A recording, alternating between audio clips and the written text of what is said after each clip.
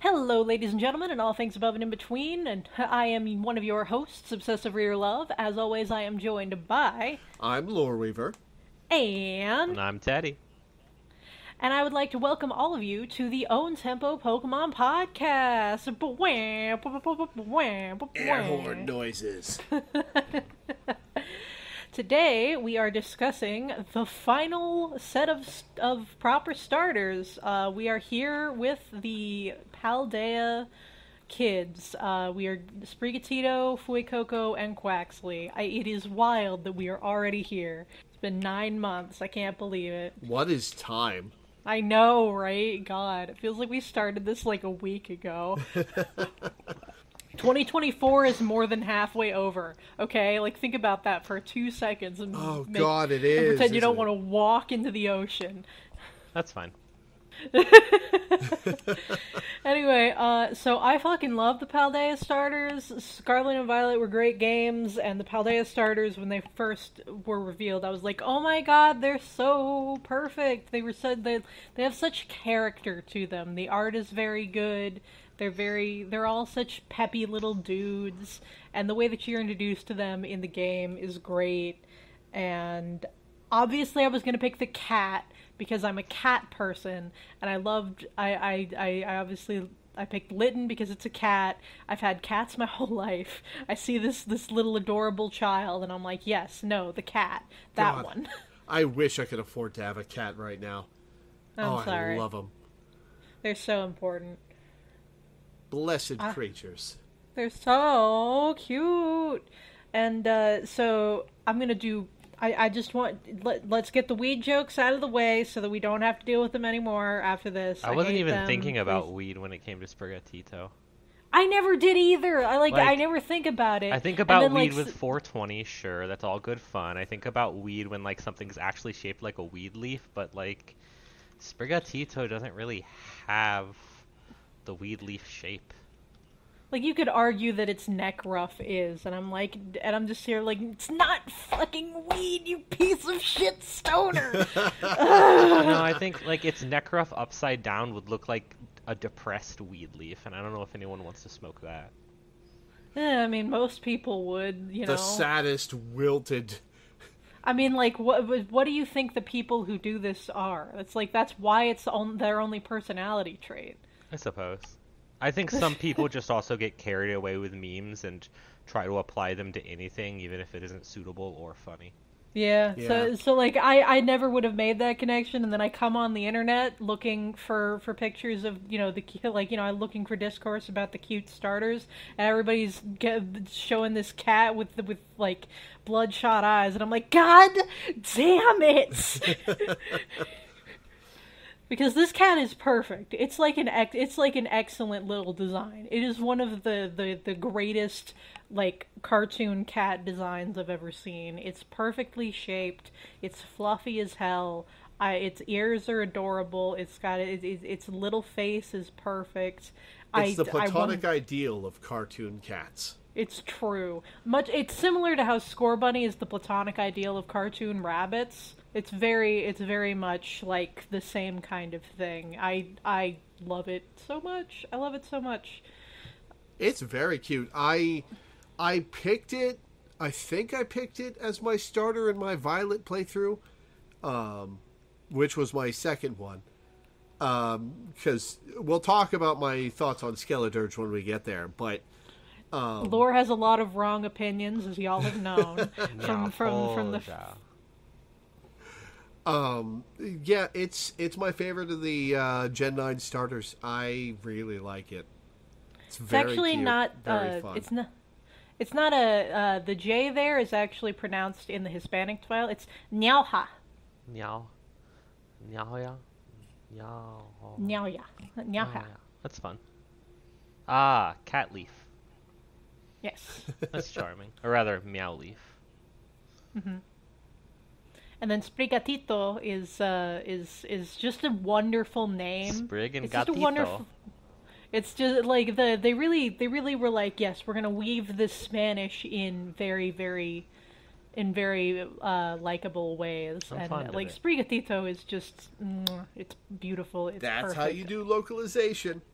Yeah, I I just I want to hold it so bad. I want to I want to cuddle it. It's so cute. God, I love it. Oh, can you guess what Um, its Spanish name is? Oh, I don't. I, I have no idea. What is it? Sprigatito. Well, yeah, I mean that makes sense. I actually I think most Spanish names are are similar to the the, the English names in in terms of localization, but in this case in particular, it makes sense. So Floragato is one of the best middle stage Pokemon, uh, especially in terms of starters, that there has ever been. I've Like- been complaining about the awkward middle stage Pokemon for the last nine months. Floragato, throw all that shit out. Uh, Floragato was my favorite middle stage evolution in the entire set of starters. It's so good. Um, I love it. It's it's it's Puss in Boots first of all, which is excellent. It's got this little like yo-yo thing on its on its on its little like ruff, which is great. It's got like you know it, it adds just a little bit of color. It stands up obviously, but like you know everybody kind of saw that coming. But like the you know the I I wanted to I want a quadrupedal cat as much as the next person, but like first if of you're all, gonna have Pokemon it stand Uranium up, this is how you have it stand up. yeah th- this is it looks so good it like it's definitely got like you know person in a suit kind of vibes but like it it's I mean, the vibes It I get from Floragato are this is a teenager. This is a teenager Oh, that yeah, thinks that they're cool as fuck. I Yeah, also and I also are. think that Scorbunny's middle stage is a really good middle stage. They have I think Oh, yeah. I think I forget what was what was Scorbunny's middle uh name it's again? uh it's Raboot. yeah. yeah, I feel like one. Raboot The and emo kid. Floragato could be like friends in middle school.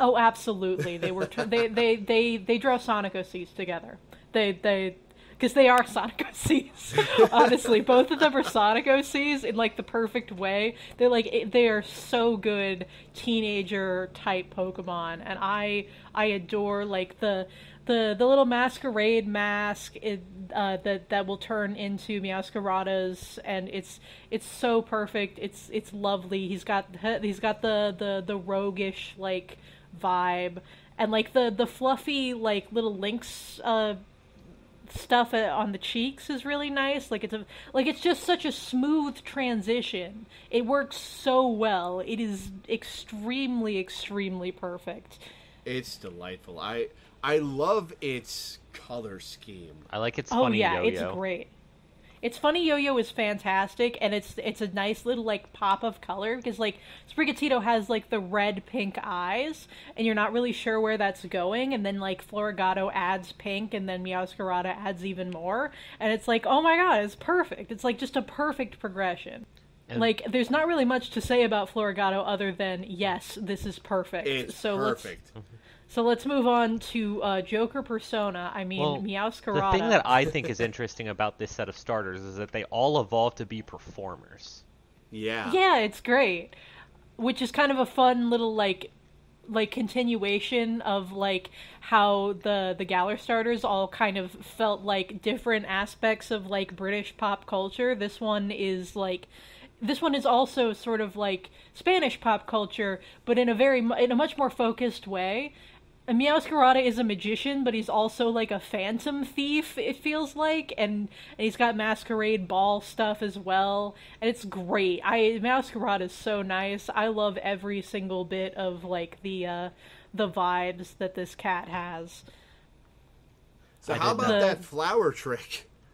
Yeah, yeah. All of these, all of the the the, the entire uh, the gang gets like a bunch of really good moves. Uh, Like they because like um the the the Galar starters also had like uh signature moves. They've been doing this since like Water Shuriken on uh since uh, since uh, Gen six, I'm pretty sure everybody had like they they give the starters like special cool things to do, but uh, it worked really well this gen. All three of the starters are actually fairly viable competitively, and Meowscarada obviously giving it Protean makes it ridiculous.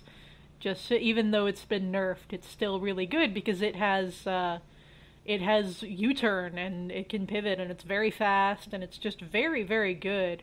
Um, and it really does feel like a performer. It feels like it's doing like a bunch of fancy tricks and stuff. And the dark type is really neat.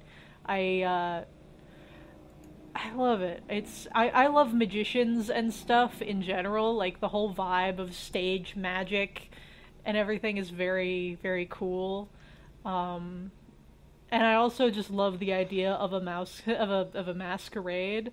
It's uh, like the the masquerade ball type thing. It's very cool. So it, it's just God. There's so it's so aesthetic. It's just so good. It's hard for me to find words. Masquerada just- is my favorite of the Gen 9 final stages by a good margin.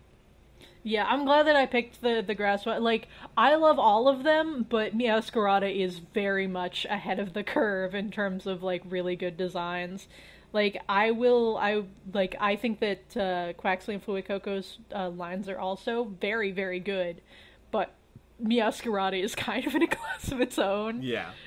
and like I'm biased again because cat, uh, but you know, still, it's like it's a cat and it's a music and it's a magician. Like there- there's everything, everything has everything love core possible has been concentrated into this design, and so I'm glad that that I was able to, you know, pick the cat immediately and be rewarded for that so heavily. like, because I wasn't really with Incineroar. I grew to like Incineroar, and I like Incineroar now, but it's not like directly love core. It's more like an, oh, I have, I understand the appeal now but when I saw it. But with this, it's like, oh my god, yes, this was made for me. This was made for me. Also, shout out to the Japanese name for Meowscarada being Masquernya. That's a good one. That's Germans very is good. Maskagato. I love that. I love that. Meowscarada is probably the best, though, like, of the options. Masquerada is one of the top starters of all time, to be honest. Yeah, it's really, really good. Like, it's not because like a lot of people think that that the more recent starters have become like either over designed or they look like a person in a suit. And like Meowscarada kind of looks like a person in a suit, but it's still very animalistic. Like it, it's it's still very much a furry design. And it's not overcomplicated at all. It is s- streamlined. It is sleek. It has exactly the right amount of colors. I think it's, the it's the things that kids think are cool battle monsters has also just changed within the past 20 years.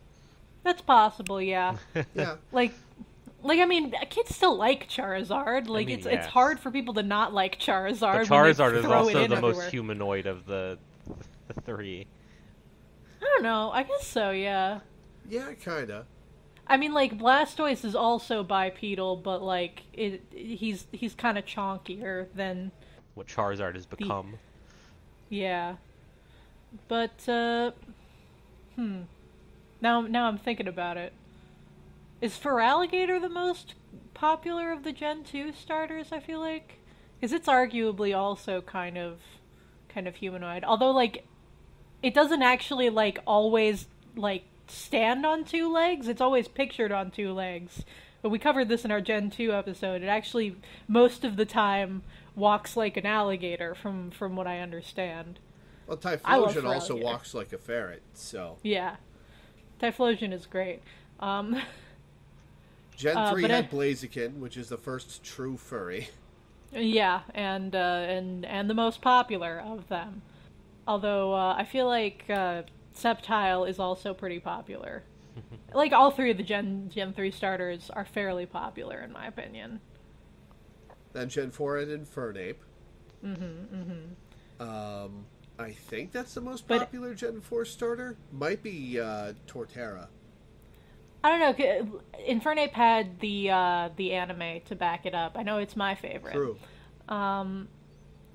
it's hard for something not to be humanoid when it's just a monkey and it's based on like you know and it's based on sun wukong who is you know often portrayed as very humanoid so it's like you know there, there- there's a lot of there's a lot of interesting stuff that you could that you could do with like dissecting all of the the ways that pokemon has evolved haha in terms of design But I feel like Meowscarada, while it would like it definitely wouldn't fit in with like the earlier gens, but it works extre Okay, Meowscarada would make an excellent Digimon. Like like It I. I like it would fit right in. Uh, like the like Masquerade Mon is I don't even think that's taken.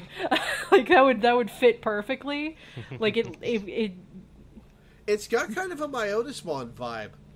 It does like yeah, it, it's got like the the same kind of like dark trickstery performer things. It's got like jester symbolism, which is like commedia dell'arte thing. So that's kind of like more Italian than than Spanish, but like you know, there's some overlap there.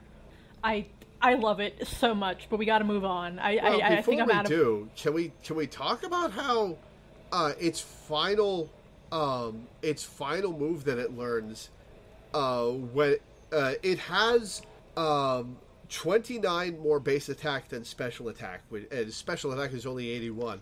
Um, and the final move it learns is Leaf Storm for some reason.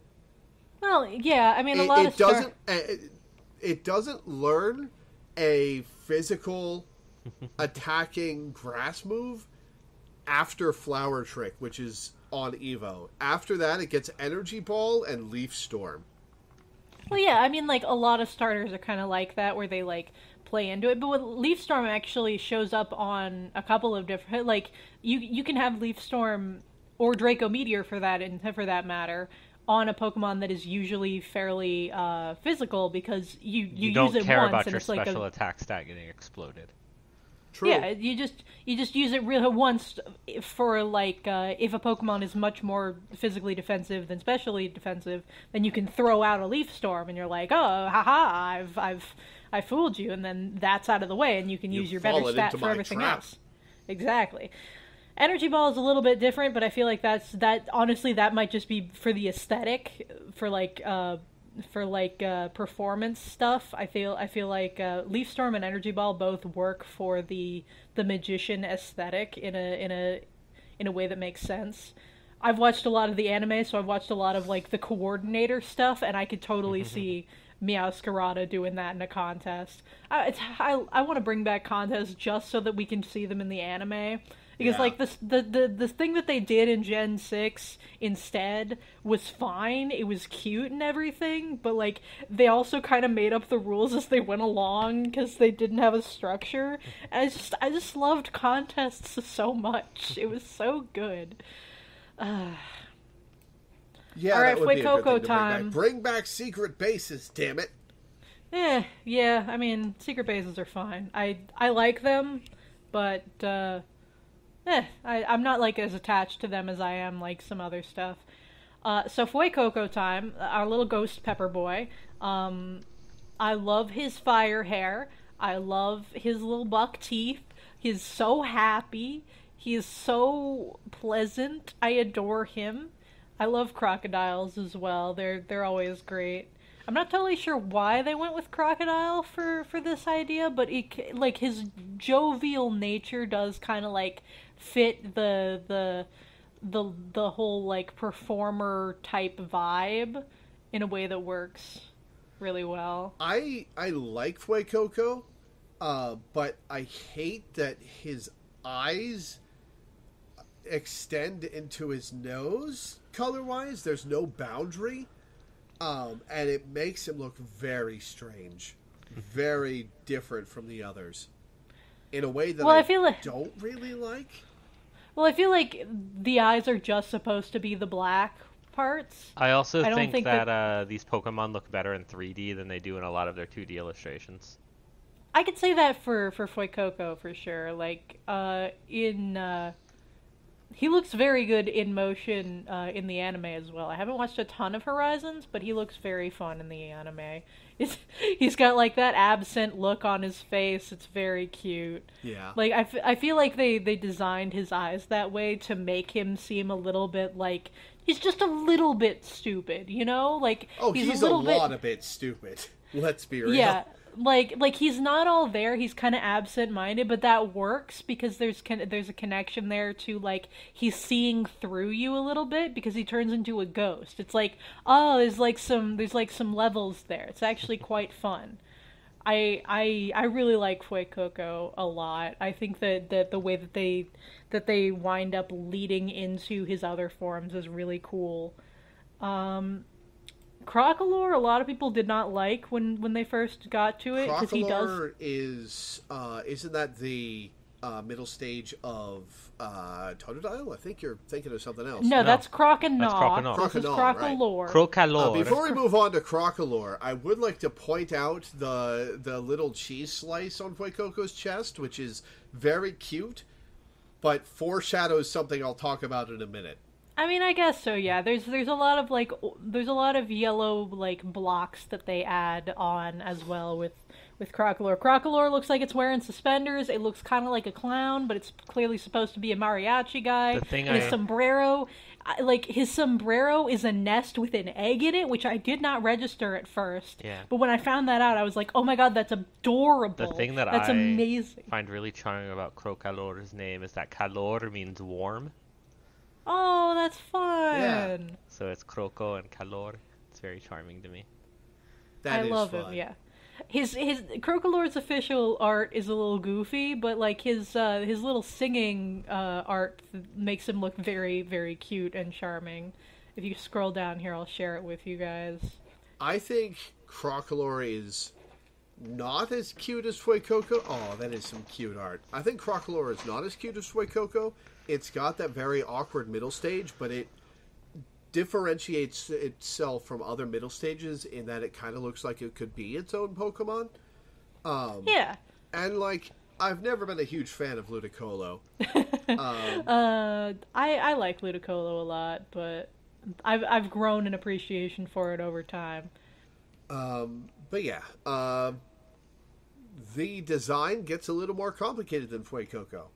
Yeah, I mean, like it. It's very clearly going for a specific vibe, and like it kind of accidentally goes into clown. But like the the reason that it's doing that is to invoke skull imagery a little bit, and it just and like the color choices make it seem kind of clown esque.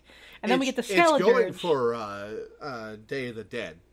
Yeah, so hence the skull imagery. And then we get to Skeledirge, and I fucking love this thing. Uh, this is the one of this is one of the coolest fucking Pokemon. I think. Skeledirge looks their best when they're standing up. I don't really agree. Like I think it looks good standing up. I think it looks good on on the ground. I just love this thing. I just think it's like to be fair, right? I love crocodiles. I think that that the the crocodilian family is one of my favorite uh my favorite um animal families.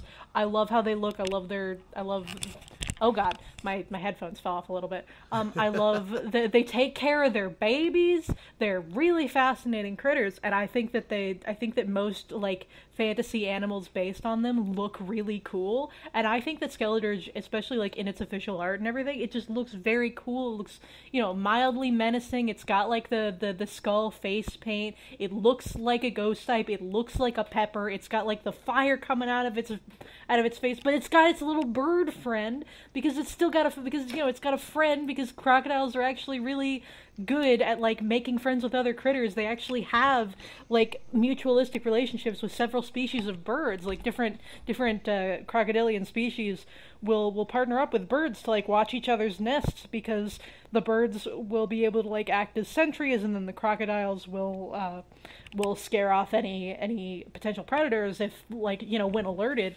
And so you know they're they're like shockingly intelligent. They're really interesting critters, and I think that this guy looks so cool. And like the the the face paint looks really good. I think like you know maybe there's like one too many colors, but I think that the colors all like work really well. Like the purple is also inside the mouth, so it works there, and then like the the yellow and uh, and and orange work because of the flame colors, and I think that like the white patterning to look a little bit like a skeleton, but not too much to be like like overly edgy is so good. I love this thing. See, I agree. All right, now Laura's I, allowed to be wrong. I agree that Skeledirge is cool. It has a ton of individual elements that are cool, Uh, the bird is fun. I really like it. The flames coming out of its mouth are really cool, even if they look like clown hair.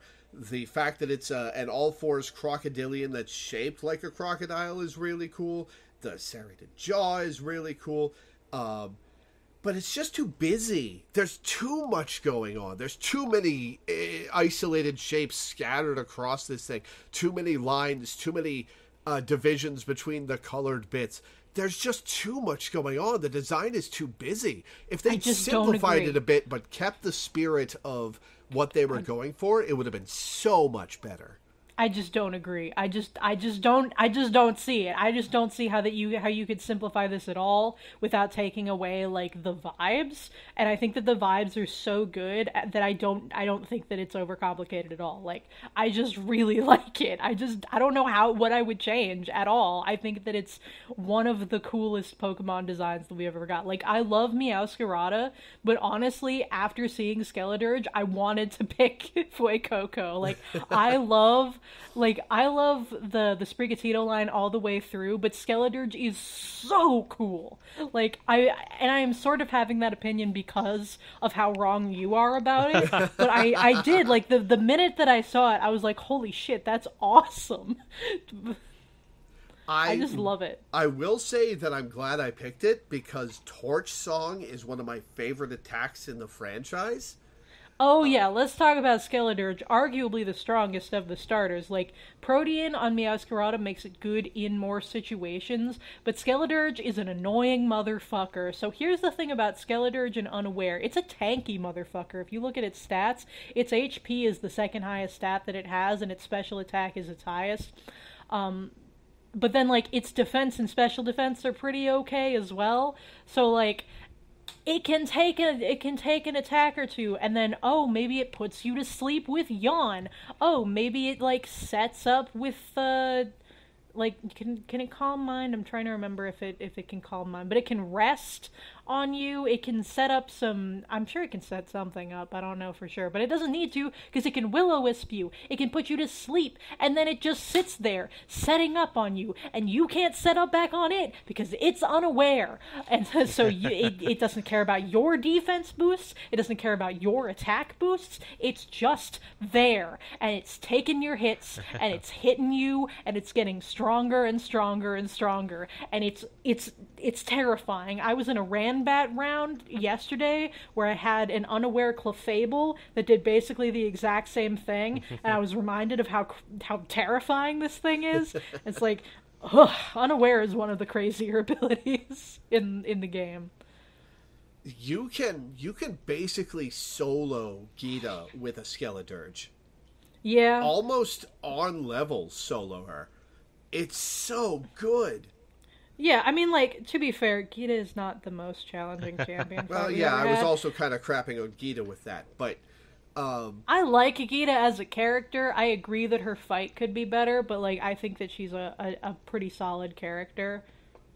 I think her fight in um, they put in... the fight in backwards. Yeah, yeah, they did kind of put the fight in backwards. they fixed that in um, the Blueberry Academy DLC I'm um, happy for that. That's where uh, she puts Kingambit flying Tera, I think. Oh, um, that's fun. As her sixth Pokemon, um, and she leads Glimmora. So they clearly were like, "Oh, okay, we we we understand." Like, so it's possible that they did the they did the the weird order on purpose to like, because you know they're because she's not actually the final boss uh, um, Nemona is. So it's kind of like so like I've heard some some arguments that that uh, she's kind of disappointing on purpose. Well, bad on purpose is still bad. Yeah, but uh, I don't. I don't think it's a bad give fight. Them credit for that.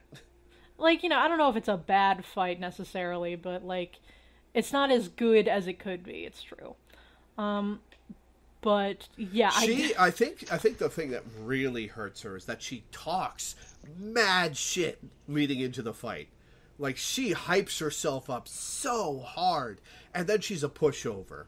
I think. I think that hurts her um, as much as, if not more, than her team comp does. That's fair. Yeah. Um, God, every time I look at Skeledirge, I'm just like, yeah, it's so cool.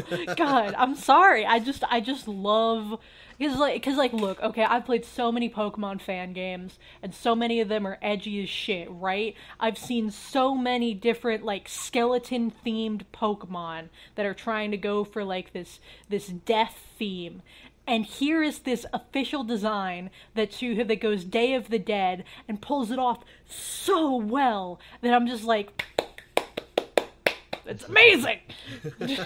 Just- I- it's so it's so interesting that they that that like Pokemon had the Pokemon Company decided to like throw their hat into the ring and they just fucking blew everything out of the water. It's so good. Uh, I'm sorry that you don't like it. I, I just I just love it so much. Like The weird thing is that I do like it. I just I think it could be so much better if it were simpler. I love its little like eyebrows. Like in its official art, it almost looks like it's like skeptically raising one eyebrow, and I just think that that's kind of fun and charactery. And like, I, God, the, the eyes are so good. I I love it. I don't know what it is. I don't know what it is. It just I just love it so much. I just received a message from somebody else that reminded me of something uh, kind of weird, but I'm going to talk to you guys about it after the uh, after the episode. So Quaxly was the guy I was initially kind of the kind of the the weakest on. I like I don't really know because like you know Fuecoco kind of looks a little goofy and Sprigatito is so goddamn cute, but like but like Quaxly is just Donald Duck, and I don't know how I feel about that. And I didn't know how to feel about that at first. Um, but you know he grew on me. I think that he, that that that he is very cute. Um, his little pompadour is excellent. Uh, his he's very he's very like funky, and I like I like a well groomed man. You know he's doing his best. I think Quaxly is very Disney. He is, yeah, absolutely. He, he he's just Donald Duck, like he really is, and it's it's it's crazy how how how well he fits into that style. Like, and I like that for him. He's also not like he's also like the blue feet is actually very cool because he's based on like a specific um a specific kind of waterfowl that's not just a duck. Yeah, the blue-footed kinda- booby, which I, if I recall correctly, are native to Maine. Uh, yeah, but there's also a uh, a different like like a specific kind of duck that uh, that this guy is based off of called the white crested duck, who has a little floof on his head. It's like a it's a breed of domestic duck, which fair is very enough. fun. Um, and uh, so so like I so yeah, there's like both of them, and there's also like a uh, a teal is a kind of duck apparently according to Bulbapedia, so that's very funny as well. And then like it evolves over the course of it into into like various kinds of water birds, and I I, I, I like water birds a lot, so that's that's fun. Um, The thing about Quaxly is that the only water starter that I've actually wanted to use in a serious way in the entire franchise was Totodile. The water starters consistently come in third for me. And that's Quaxly- interesting. um, Quaxly comes in third for me. Like Fuecoco's cute, and it's a fire starter, which automatically gives it points for me. Sprigatito is the platonic ideal of Kitty Cat, uh, and Meowscarada is great. And so Quaxly is just the odd duck out. Um, Haha. Pun intended. haha. Um, and I wish I I, feel liked like- it more, but it, there's nothing wrong with it. Hold on, Teddy. Did you give your opinion on Skeledirge at all? I did. I like it. It's a funny mariachi guy. Okay, I I was because I know that Laura and I oh, talked oh, it's a fine. lot, and I was I don't mind being the relatively quiet guy that pipes up sometimes on these podcasts. okay, Cultivating my make- listening skills. you just have two and a half hosts. It's fine.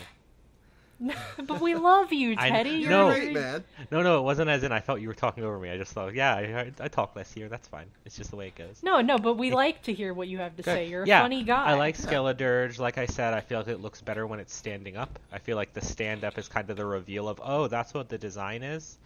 I think the Oh, yeah, back that- scales kinda might fair. be intending to evoke like a skeleton's spine, but it kind of it is a little bit messy and a little bit complicated. I'm not sure how they could have compromised it though. Uh, and when it comes to Quaxly, it's a little guy, funny little guy. Uh, Yeah, I mean, like Quaxly and and and Scorbunny also feel like they could be friends, uh, just because like they're they're both like mostly white guys with color accents that dictate their type. and, For a moment, I uh, thought you were saying white guys like white people, and then you you said with color accents, I thought you meant like they put on an accent.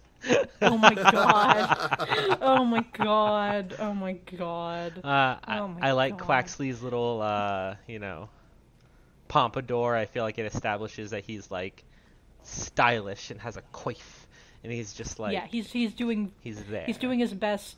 Yeah, sorry. It's all good. No, He's doing yeah, he's doing his best to be to be stylish, and I appreciate that.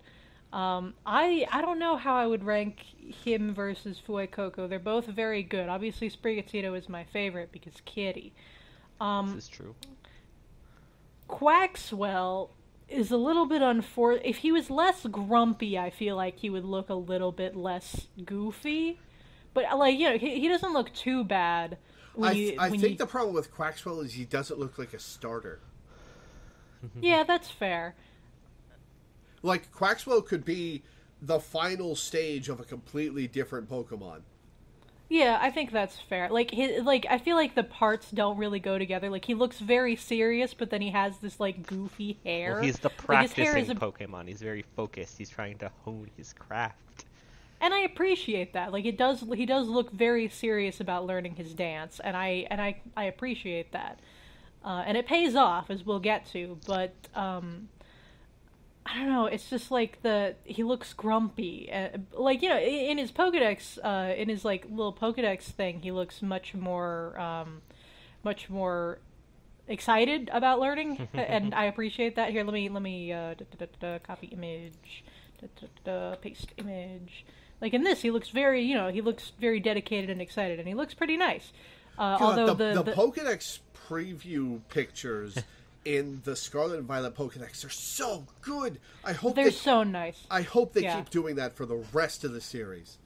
Yeah, I, I feel like they were inspired by New Snap doing well. I like I, I feel like that has to be the case. Did New Like- Snap do well financially? I hope it did because I want Snap three. Like I think it did okay at least. I'll have to look into it, but uh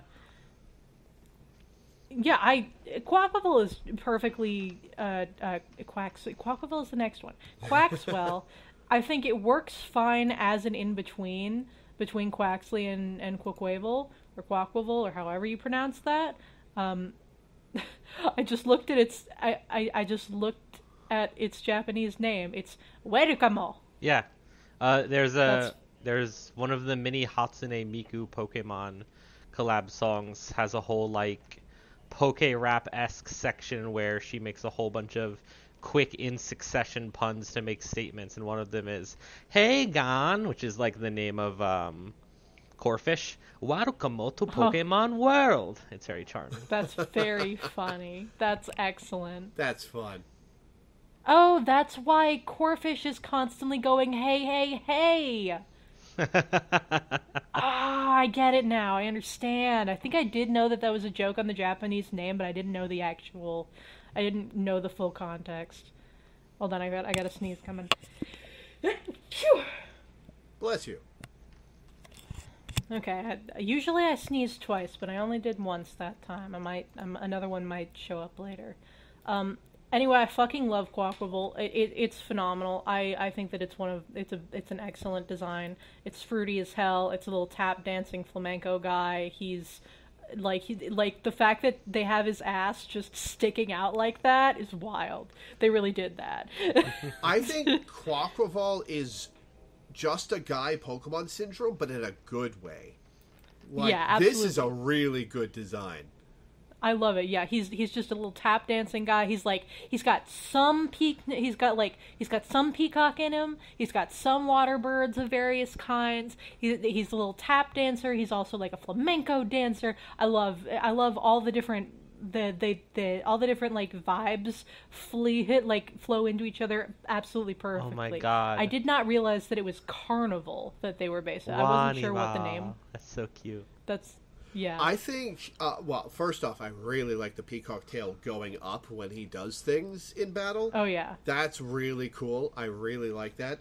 But I think the most striking aspect of uh, design is his eyebrows, really. Oh yeah. Like the, Oh, the yeah. contrast between his really fun shaped eyebrows and the hair immediately behind it and the little tuft feather uh, above it all. Uh, that's that's really good color design. Apparently, uh, the the the general va like the parts of it that are not based on uh, on a peacock, like the uh, the color accentation and the the feet and stuff, are based on a an animal called a red knobbed coot. So that's funny. Um, oh, it's Carnival. Of course, it's Carnival. God, I'm such a dumbass. It's it's a uh, Quaquaval. I I love that. That's great. And it's a fighting type. Water fighting is a really fun type. I I sure. wouldn't have expected fighting, uh, but like fighting and dance being sort of like uh, you know mixed together is very cool and it's got moxie as its ability and its and its move like boosts its speed so it's like oh it's it's it's it's another example of the of the uh the starters being like really really solid like it's not as good like it's not as popular as the other two but it's still like it sees some play sometimes It's it says a lot about how good the other starters are that the 80 power flame charge is the worst of the signature moves. yeah like that's wild. It's also like there are a lot of good physical water moves, so like you might you maybe would not use the the the The 80 power the- flame the- charge. Yeah, but I mean like it's still 80 power. That's like that's waterfall strength. Like it's only a little bit less powerful than liquidation. So like y- you probably use it, especially because like uh Quaquaval is not as fast as he as, as you would expect. He's only got 85 speed. But uh, you know, with with a boost or two, he he gets crazy. There are a lot of really good physical water types though, so he kind of like so he he kind of he might struggle to find a niche. But like the fighting type aspect is also pretty solid. It's got 120 base attack. That's not that, that's that's not bad. I think as long as Urshifu is in any format with Quaquaval, you're not going to use Quaquaval. Yeah, it's like a shame. That's honestly, I have I have complaints about official formats allowing legendaries because they, with a few exceptions like Flutter Mane and Incineroar and Amogus, uh, it leads to um, it leads to competitive teams being saturated with legendaries all over the place, and that feels a little boring to me. Like, let Quaquaval shine in place of Urshifu. Um, It kind of Let- depends, right? Because like, as someone who has done a lot of competitive, they do limit the amount of like really powerful legendaries with you know specific stat total, like the box legendaries. Um, it's kind of interesting that like how they choose which starters or which which legendaries are like you know the ones that they have to put a limit on. It's all it's usually just the box legendaries because of their their stat totals, but like clearly the Urshifus are like very strong just because of their ability and you know their their moves and stuff. It's like Oh yeah, we'll we'll make a Pokemon that ignores protect, you know, one of the most important moves in the game, and that that that won't cause any bra- balancing problems whatsoever. Aren't you glad that Roy says no legendaries in Draft League? I mean, like I like a lot of legendaries, like you're supposed to. I I like a lot of legendaries, um, and I like a lot of the Paradox Pokemon. Fair enough. But- If Roy Lee did allow legendaries, everyone would have like one per team anyway. So Yeah, and I mean, like you know, like if I had like one, uh, one limited, like you know, limited legendary, and then one like lesser legendary, and then one Ultra Beast, or uh, like either Ultra Beast or uh, Paradox Pokemon. I feel like that, you know, that that that would be fine in like a, a draft of ten or eleven. Oh yeah. Well, you you you'd like a lot of other draft leagues that just go all all in on legendary. I know that the, Yeah. a lot of them have like uh, like points assigned Yeah. to each of them, which is you know, like I feel That like. I feel like our tier system works pretty well though. Yeah. But um, I you know like How I many, feel like Quaquaval is nice because it's like it has the ability to get faster, but the thing is in doubles specifically, like Quaquaval is better in singles because there's more guys to to, to beat up to get the moxie boost. um, but in in our com- in normal competitive, it's doubles and there's only four guys, so you can only get a couple of boosts. It's, it's one of the reasons why uh, you don't see um, you don't actually see last respects or uh, or you don't even really see, you don't see Kingambit much either. Uh, usually you put Defiant on him instead of the of uh, his his really cool ability because there's there's just fewer guys to to power it. So uh, um, so that's one of the reasons why Quaquaval uh, would would be less good competitively than Urshifu would, even like disregarding the absolutely busted ability that Urshifu has. yeah. Sorry, I interrupted somebody. What were they going to say? No, it was. I was- I was about back to- top. Oh, go ahead. I was about to ask how many uh, Paradox Mons even see play. Like, there's Flutter Mane, obviously. Um, I think I've seen Roaring Moon in some of the few competitive matches I've seen. Iron Hands is good. I know that Iron Hands is good.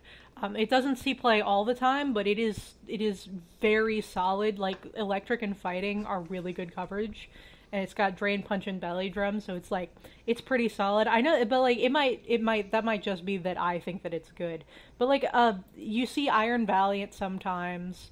Um, all of them have their uses, but Flutter Mane is very good, so it's it's a little bit hard to, to, to really rank. Hold on, let me actually like Fluttermane Look is up. banned to Uber's good, right? Yeah, no, absolutely. Um, I don't I don't super pay attention to those tiers, but um, uh, yeah. So let me look at this. Um, I am. I am a little. Scream Tail. Screamtail saw some play early on because it's very fast and it's got like a lot of different uh, support options. But there are other ones now that that are better. Um, I'm pretty sure the uh, the the dinosaur uh, legendary beasts see play sometimes, um, mostly on Sun teams. Um, Iron Bundle is really good, surprisingly. Um, Iron Bundle, Oh yeah, especially early on. saw- Delibird. yeah, Yeah, Iron Bundle saw tons of play. It's so fast. Yeah, it, it's it's entirely because it's like extremely fast. I think Iron Thorn sees play on some teams, but I don't know for sure. The Tyranitar Um, one. Yeah, I Huh. don't know for sure though. Um, why would you run that aside from? Uh, uh, why would you run that instead of regular Tyranitar, which comes with See- s- the uh, s- sand setting ability and like? Did you know that you can run both? Oh shit. Eh, fair enough. so yeah, I but like I don't see a ton of sand teams these these days, so I don't know for sure. Um, but I mean, I don't know. Maybe I just like Iron Thorns and I'm biased.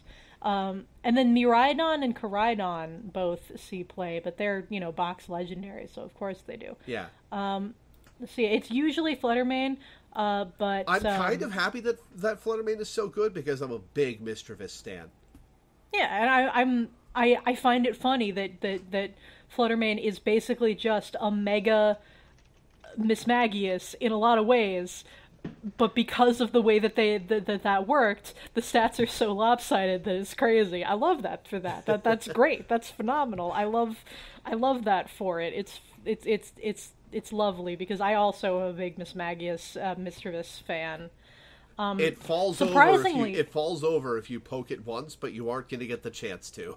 yeah uh, especially like if you're if you're working with like uh Indeedee, which is very popular that sets up a psychic terrain so you can't priority it it's like whoops i killed your whole team It gets a spread fairy move, right? yeah uh, dazzling gleam is uh, very good honestly um not the uh the the paradox pokemon but the treasures of ruin see tons of play Oh, they love those. they are they got like they like they got their stats nerfed like before proper release type tons of play Wo Chien sees the least of it but Ting Lu was very good for like uh, for a while near the start when there was like less stuff going on.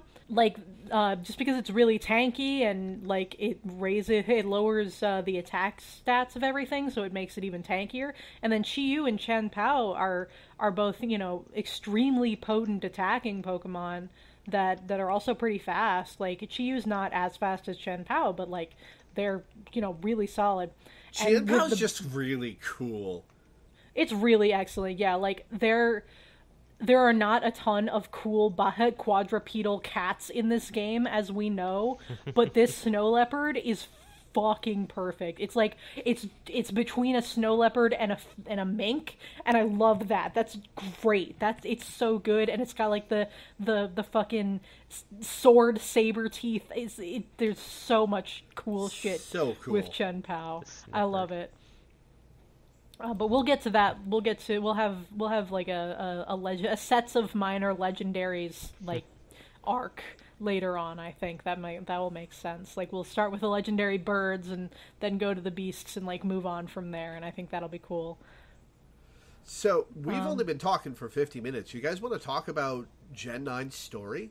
Let's talk about the best story a Pokemon game has had in ages. I think yes, the thing absolutely. the thing that strikes me the most about what's fundamentally satisfying to me about Gen 9's story is it highlights time and time again that uh, institutionally adults are failing children constantly. Oh yeah, absolutely. And I love that for for kids media in general. Like I've thought fairly recently, like in the past month or so, a lot about how how often kids are not treated like full humans. Yeah. like, you know, they're they're treated as things to protect and to hoard almost by their parents and by other adults. They're treated as like extensions of other things. And so like in a lot of ways, this story shows how deeply that hurts other people, how hurt, how deeply that hurts the kids, and how much kids can shine when they are allowed to, you know, be themselves and be full people. Like Nemona is, you know, one of the coolest characters ever, and she's like allowed to just be because she's, you know, one of the the she, you know she's the champion. She's as as strong as they come. Nemona, that's Nemona is my favorite concept for uh, a rival in the entire franchise because she already beat the game. She's starting a new save file to play with you because she thinks it'll be fun. She has nothing to prove. She is top of the heap. She is arguably the strongest trainer in Paldea. Um, and the thing of it is, she did it so easily. She didn't have to put in any, in any effort at all. And that is really fucking with her head. Like, she has Yeah. never been challenged, and she is desperate to be challenged. And I And think I love that's that for her. so cool. She's like the inverse Gary, and I love it. I love it. She's like, let's take everything about Gary, jeez Louise, and let's take it and let's turn it upside down and turn it inside out and see what we get. And I think that that's awesome. And I think that she pulls it off phenomenally. And she works so well as a contrast from your other two friends that like that when you see all three of them interact, it's like, oh, this is this is actually a really solid little little gang that that's got like a lot of really interesting dynamics that they that they that they have available. When the text isn't going by at 5 million miles a minute. Oh god, that's uh, I found out that's uh, that's linked to your text speed. Like the this, Oh. if you set your text speed to a reasonable amount, the text that goes by while you're exploring Area Zero will just zoom past. Impossible to read out loud, as I discovered on stream. Um, I can read as fast as text appears on the screen, but many people can't. Yeah. I've heard I've heard complaints about that as well. You know, I, I guess it's situations like that which make me think maybe there is a case to be made for maybe having some scenes in Pokemon be voice acted, cutscenes in particular, where it's automatically advancing text. I think Yeah. Uh, I think Piers proved that there should be some kind of voice acting Oh, in boy. Pokemon. Yeah, like I think I think Piers. Like I Piers is the point at which there should have been voice acting in Pokemon. Or That's at least some mumble foley, please, in that scene. Yeah.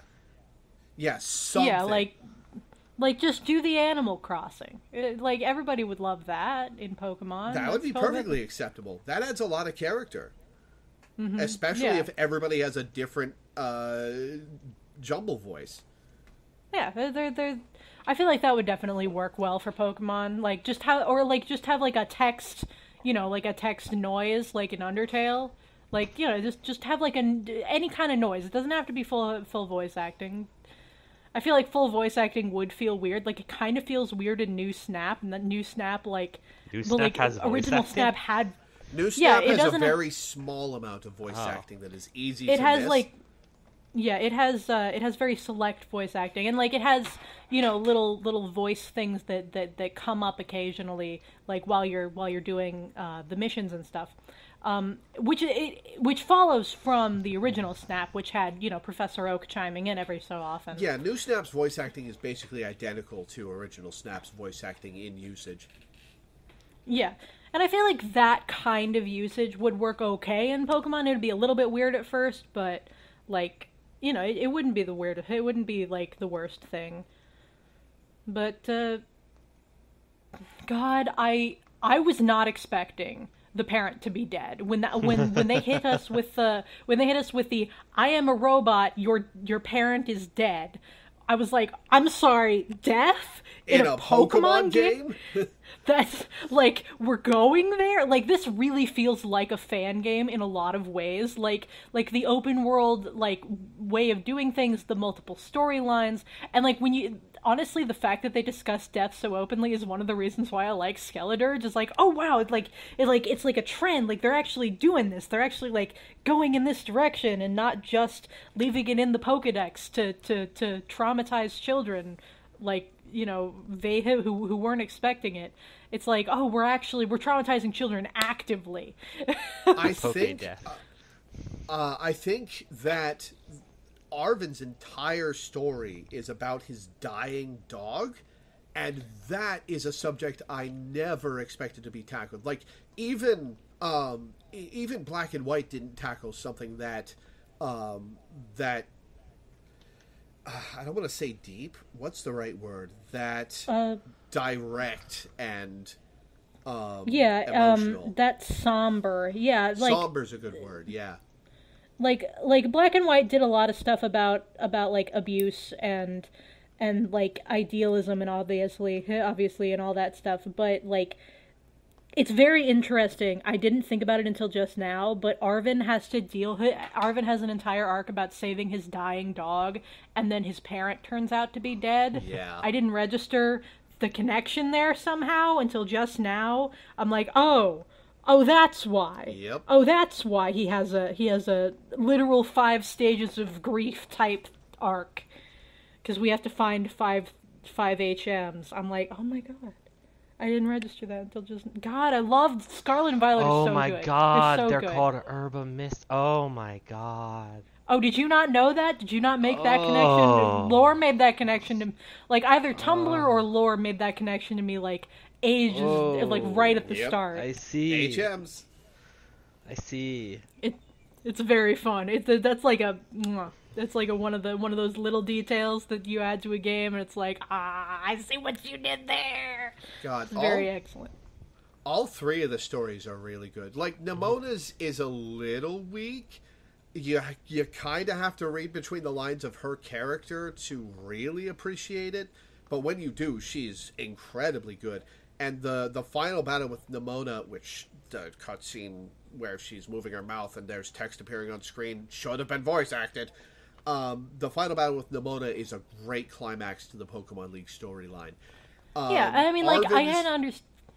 Like I kind of understand why they didn't put as much focus into that. Like they they stuck with the gym leaders are interesting characters and and Nemona is an interesting character, and they didn't like put too much focus into that because they know that we've seen this before, and so they they they streamlined it and kept it fairly focused on the arc with Nemona and the gym leaders being interesting themselves, and they let the other two stories speak for themselves as well. Yeah, like Arven's Arven's is probably the best of the three. Um, it's I, I- think there's less meat to Arven's because he he only really shows up when um when you when you actually go into the cave to interact with the Herba Mystica. Um, and that's that's the entirety of his cutscenes is him feeding uh, Mabosstiff and, and Well, he helps you to you fight. about it. Uh, and He helps you fight the guys most of the time. That is so- true. He does Yeah. pop up to help the guys. Um, well, yeah, but he mostly just he shows up right as the battle's about to start and goes, "Oh, hey, a fight," and the fight starts. Um, Yeah. Penny's story goes into more detail, and I I think that the Team Star leaders are the strongest characters in the game, aside from Nemona and the AI professor. As someone who loved Team Skull in Gen in Gen 7, Team Star is like what if we took that and we made it much more direct mm-hmm. and like cuz like Team Skull is like people our age or like a little bit younger that that kind of have lost their way. They're like 20 some this is like teenagers and kids and Kids that have been It- abandoned by the system. Mm-hmm. I mean, like Team Skull is also that, and like to a certain degree, right? That makes Team Skull a little bit more relatable because they're like adults that have been abandoned by the system who used to be kids abandoned by the system, and that's kind of why their their whole like vibe is a little bit more like a little bit more distressing, I guess. Whereas Team Team Star is very much like a row row fight the power type story in a lot of ways, and I I do love a row row fight the power teen uprising type story and i think that it's handled very well and i love their their punk cars and their their their fun outfits and like the fact that one of them is a ninja because he's just a big old nerd and the fact that that the the that, that the cutesy fairy guy is arguably the meanest like it's a classic trope I And- think I think that Eri um, Oh, yeah. is the hardest fight in the game if you go in on level. Mm-hmm. Like almost unquestionably, she's really strong, and her her team Yeah. is built with as much coverage as you can get from a team of fighting types. Fighting is honestly one of the better types for coverage, to be honest, because like fighting is such a simple thing that like they can. I mean, like all the different punch moves, right? That the so like you know, um, coverage already kind of exists just because of of that. But yeah, I Eri is a great character. Like all of the Team Star characters are built on like the concept of duality and gap moe. Like they're you think that they're one thing and they're actually much more complicated than that. Like um, the uh, the the hot headed fire type one is actually like She she Very- doesn't know how to interact with people, and so she's lashing out. Mm-hmm. and she but she cares a lot about like about raising pokemon and she has her little like uh, her little troop of of Char cadets, and like the uh the super scary wrestling looking fighting type one is actually a cheerleader like and she's and and she's like a shy cheerleader. I love that. And like the fairy guy being like super mean and like a rich snob but also like you know he cares about his friends too. And like the ninja guy actually being like like super pretty, but he doesn't like showing his his face because he gets too much attention. It's like ah, there's so much My good face stuff doesn't in reflect there. the darkness in my heart. I know he's such a little edge lord. I love him. I. I wanna I wanna make an assertion here. I think that the battle theme for facing the Team Star leaders is the second best music track in the entire game for communicating what is happening. The only one that's better is the Area Zero theme. I think that's probably accurate. Yeah, it's been a while since I since I did any Paldea stuff. Honestly, I should go back and play the game again. Probably like I I, I have I have like some some extra accounts. I wouldn't be able to use like the internet stuff, but you know, I I'll have to see. Um, but uh, I. God, what was I gonna say? I, oh, Giacomo. Uh, we didn't talk about him. The dark type tech guy. Like he he he comes across as like this super punk dude, but he's actually their tech guy, and it's like, oh my god, that's so fun. What the hell? Like the the the the the variation is so is so interesting, and you can tell that it's sort of like a new thing that they're doing and that like they went they went through some changes fairly recently but they're and they're just sort of getting established but like they they have like a really good camaraderie and it works really well Yeah, I- the game really God. sells that these guys are friends, like actual Mm-hmm. friends, not just an informed quality. They they like each other and they want to hang out with each other. Did you know some people think that Penny like gets off scot free and like does not and like like like deserve to be actually punished? I'm like, what do you? First of all, that is actually how a lot of hackers get like a Oh lot. yeah, that is no, what she happens is to a lot she of is hackers. under Geeta's thumb for the next mm. five years or more. But but also she she's Yeah. gone through enough, and I think all the adults kind of recognize that. Yeah, exactly. And and and so like so like first of all, like a lot of hackers do wind up integrated into cybersecurity. Like that's kind of how it works. There's a this is not there's a streamer with a really sexy voice who goes by Pirate Software, uh, who used to be a white hat hacker, um, and he, he tells stories about it on stream, and i it's really cool. Um, and yeah, like white hatting is uh, a legitimate and common career move for people with that skill set. I mean, yeah, a lot of people that are enthusiastic about tech and tech intrusion, a lot of them only hack and stuff because they have certain like sticking points or morals or standards. So if a company comes to them and basically says, "Hey, we recognize your abilities and we want to make good use of them in a way that's beneficial to everyone." A lot of them are like, "All right, well, that works." Yeah, and I appreciate that. Um, whenever I hear White Hat Hacker, actually, I, I think about the uh, the Netflix Carmen San Diego TV show because I only watched a couple of episodes of it, but like one of the she meets like this this kid who who is a white hat hacker or like that's what he claims to be and then at one point she like she takes this this she takes you know her signature red hat and there's a joke like does the hat have to be white so, like that's what I think about Now, where in every the time world I did you get that association from? Ah.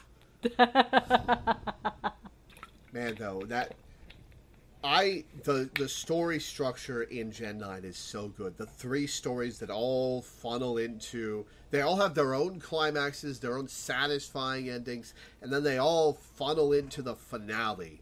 And this and everybody gets to show off their abilities and like like Nemona gets to show off how strong she is and Penny gets to show off her hacking and Arven gets to be the emotional core of the situation and it's very it's very very good and then they they drop like a they drop the big bombshell on you and then like the fight is so, It's so good sick. It's the sickest final fight- fight in the entire franchise. Um, it's so good. It's so cool, and it's full It's also of such. fairly challenging. Oh yeah, Oh, like yeah. it's actually hard. Uh, it's full of such good moments, and you you don't know what's coming at you because up until that point, you've probably only run into Scream Tail and maybe uh, eh, Scream Tail and um, Great Tusk and maybe one of the others. Because for some Yeah, I reason they think you're- don't you're- they don't really spawn until after you've beaten uh, AI Sada or Turo. Um, yeah, you're forced to fight a couple of uh, of the the mushroom guys uh, on your way in, and I think there's like one other guy that you have to. There's like one other guy that you have to fight similarly. So you, you do run into a couple of them, but you do not run into like even half of the ones she uses. You don't so when see she Sandy leads off Shocks. with this, You don't see um, the the Volcarona. The- you definitely don't see Roaring Moon. Um, So like when she leads off with this this crazy moth, regardless of game, which is great because like most people know that Volcarona is a pretty good Pokemon. So regard so she sends out this crazy Volcarona, and you don't know what type it is. you don't know if it's bug or fire or what, and it- and you just and and you're forced to be like, oh fuck. My my favorite Oh, moment, my favorite streamer, what I watched a, pl- his playthrough of uh, of S- Scarlet, and he got to Sada's final Pokemon, Uh, and he, he's going, oh man, this fight is sick. What's up next? What could her final Pokemon be? And she sends out Roaring Moon, and he goes, oh, that's a Salamence. Yeah. A- And the fact that they went specifically with Mega Salamence is like, oh my god, they didn't forget Mega Pokemon existed. As somebody who loves Mega Pokemon, I'm like, please. I do God. like that the pseudo legendary paradox Pokemon are based off the megas. It's very satisfying.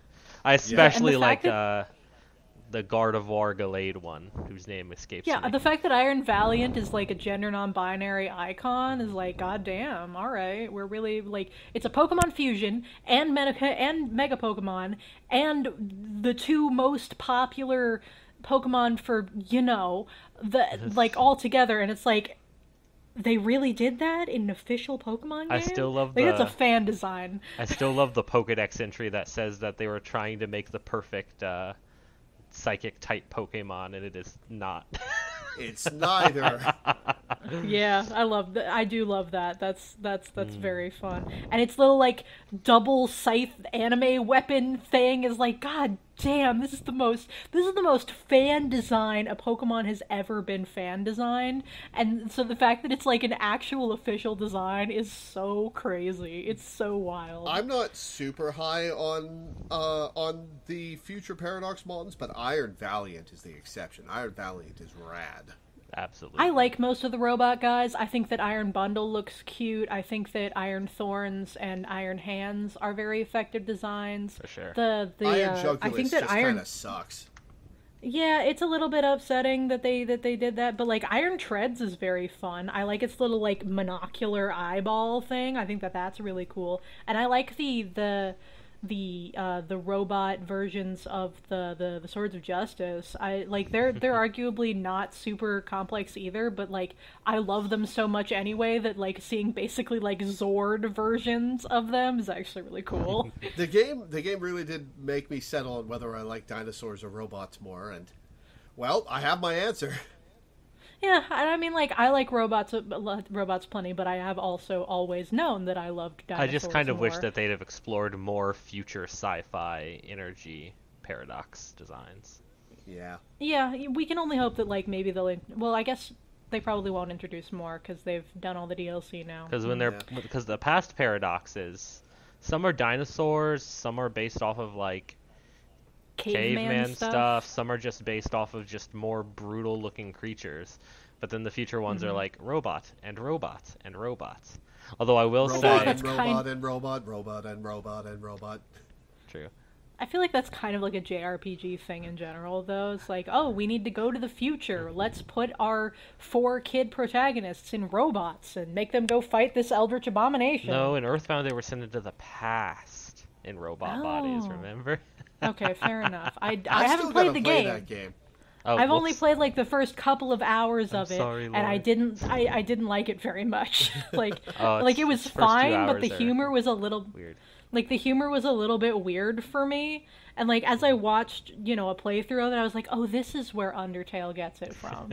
I was like, this is why Undertale does not really work for me because it's clearly this sense of humor, and this sense of humor does not really work for me. And then Deltarune is is much more a, a a sense of humor that appeals more directly to me although it does still have some of that but it like takes it in much more of a direction that like I more get I guess. I think Deltarune is also just like in general way funnier. yeah that's it, it's it's sort of like aiming for that more I feel like. But like the thing about Earthbound is like it is so 90s it's so like it's such a 90s RPG like there's a part where as part of a joke you have to stand still in front of something for like an amount of real game time it's like several real Yeah, I real time like- minutes Two or three minutes. Yeah. and I mean, like that that was that was kind of a thing in in in Pokemon in like in Ruby Sapphire and Emerald, like like a bunch of weird stuff like that, like weird ass puzzles that that that that are in like old JRPGs are very fun and I like them even if they're kind of silly.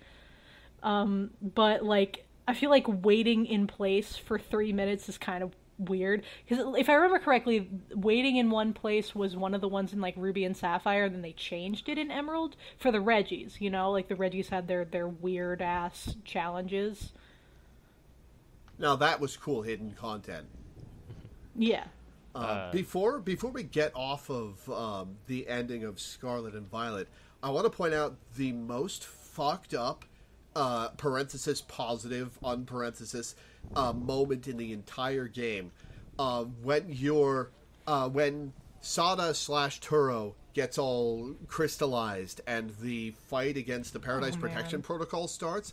There's a brief instant where it says AI Sada does not want to fight anymore, and then the Yeah. text box It's so glitches and it says you are challenged by the Paradise Protection Protocol, and that is so Yeah. fucked up in the best way. so Yeah, I wish that we learned what happened to them. Like, like I would have loved that for the DLC. It would have been nice. The DLC mean- shows that there is actual time travel involved. It's not just fantasy. So presumably, the paradise, the uh, the AI uh, professor went to the past slash future in actuality. I, I guess I, have I still not finished the. I don't think I. there's like a It's bonus bonus scene you can get. Yeah, wh- where you you go to the Crystal Lake in Kitakami and um, and Mm. you with Terapagos and you meet uh, the living professor and you give them a copy of the book. Oh, right, because the other one was like Arven's other parent, and they left them. They left the other parent because like workaholic tendencies, and you can read the, the the journal entries as you go down Area Zero, and it's like Jesus Christ, this poor kid, Yeah. this poor child. Uh, somebody get this this kid to Bruce Wayne's stat. Needs to be adopted. But yeah, um, the uh, the Indigo Disc DLC confirms that actual time travel is involved. Uh, so all the people talking about how the AI professor was sent into nothingness and uh, didn't actually go to the past slash future where they could be happy. Um, uh, suck it, suck it. You're wrong.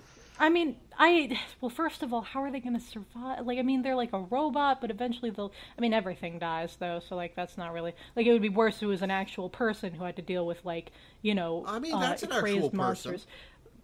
Yeah, but I mean, like You mean I like, mean, like a an organic person? person. Yeah. Yeah, because like it, a little bit more durable, but like also, the, I just don't like what that says about cause about about the past and the future of Pokemon. It it doesn't really make sense. Like the past stuff, we already know that regular ass Pokemon existed, like because because the fossils in the time period, and it's like did did the fossils used to look like that, or like maybe there was some aspect of like of If I recall, weird there's some theory I think stated halfway by the game that it's not the literal past that the Pokemon and the professor come from and go to. It's that it's like a an adjacent timeline that Oh, happens yeah, to resemble right. our assumptions about the future and the past. That's right. I do like remember that. that. Yeah. I would also So- like to point out that Aerodactyl, Kabutops, and Omastar fit in perfectly with the Paradox Mons. Eh, I don't know if they do. Like they they fit. Like they they're not colorful especially. enough. They're not colorful mean- enough. Like Mega I Aerodactyl mean, like- arguably like- does. Uh, like as as prehistoric creatures, they fit in perfectly with the Paradox Mons. Like the, a lot of the fossil Pokemon, like um oh, what does Anorith evolve into? What's the name of that? Armaldo. Armaldo. Armaldo does kind of fit. Yeah, like a lot of the fossil Pokemon fit in aesthetically with the past Paradox Mons, so I don't really Like the see past a conflict Paradox- there at all. the past paradox pokemon have this like punk rock vibe on a lot of them that that that that feels very like contemporary in a lot of ways. That like feels very very fake i guess like sort of imagined. Like whereas you know all the fossil pokemon look like animals. They look like creatures whereas the past paradox pokemon look weird and and not like they they like and like out of place a little bit um, and I so that's the like because of the punk rock a- aspect, they don't feel quite as like part of the natural order of things. Just that's just like my own thing. Um, and I mean, like there could have been like some alteration due to the dimensional aspect of it. So like again, I'm not I'm not super pressed about that. I can I'm the only person in the world who wants to to like create a complete and understandable mythos of the Pokemon world. Um, I doubt you're the I- only I, like one. think like I think about this way too much, and my own opinions do not like necessarily align with the usual ones. Like, but the Pokemon world is like my ideal fantasy world. If I were to be isekai anywhere, I want it to be there. I want to be there so bad. uh, I want to go to the Pokemon world so bad. Like you know, it's it's got some of the the modern society failings, but it has free healthcare. It is all but a utopia, and that is very attractive. and I appreciate you know the ways that you know people are still people in it, but like the the the culture is still so much like more giving and and like able to you know able to to to to, to promote positive change even you know team skull and team star are still wronged by the system but like the system is capable of changing even just within a couple of generations and i think that that's really cool I mean, I think that I think that's the appeal of a fantasy story is being able to affect real change. Yeah. Uh, let's not talk about politics. Yeah, let's let's move on. So Hey. Uh, okay, we've been going for an hour and 20 minutes Before now. we Uh, finish, I do have one more thing I want to discuss. okay, oh, yeah, what up? All right, you've been in a draft league for you know a full league. You're done with it now, love. Yeah. How'd you like it? I loved it. It was very fun. I like near the end, my team stopped really like discussing like team team building and Uh-huh. stuff. So it was kind of hard for me to like get proper feedback, and I felt kind of like. Uh, but I, I felt like I did like improve my skills over time, yeah. and I, I felt like I um I I felt I really loved my team by the end. Like I made a bunch of trades pretty early on, but once I got like my team set up, I really loved them. I loved like picking between them and and figuring out like which six to take. I I almost always brought um, Tinkaton and Dracovish because they are very centralizing guys in in their own ways. But picking between like the the snow mode and the the the less snowy mode for my team was really fun, and I so I think that I really did like pick a solid team of guys, and I was really really happy with how they all did. Even if Mega Autono did not get to pop off in any real way, uh, Frostmoth did, and that Frostmoth that was cooked. awesome. Yeah, the thing I really Yeah. like about draft league is that it's like everything has a chance to cook. And uh, so yeah, my my uh, my my my eleven guys for for the reference of of both lore and uh, the the people listening. Um, my final eleven guys were Lapras, Dracovish, Passimian, who surprised me uh, by being like way better than I expected. Tinkaton, who was basically my MVP. I I loved her. as she Uh, deserves.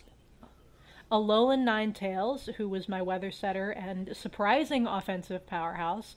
Clodsire, who was my, my tanky boy. Um, Cantonian Arcanine, who is another, who is like just one of the most versatile guys um, in the game. I love him. Mega Autono, my beloved. I will try to draft you next league, and you will be you. you I will fit you into the team a little bit better. Frostmoth, my beloved. Manectric, who was like I didn't always bring, but uh, like always did like some really good pivoting offensive pressure stuff, and uh, and Hisuian Decidueye, which I did not make as good of use of as I could have, but still like did um, did put in the work that I needed to. Like I needed somebody who resisted earthquake and who could do defog and who could like you know um, uh, resist like who could deal with stealth rocks and stuff like that. And he did he did his job pretty well, even if I uh, even if I didn't uh, utilize him as well as I possibly could have. Hell yeah. Well, I'm glad you had a good time.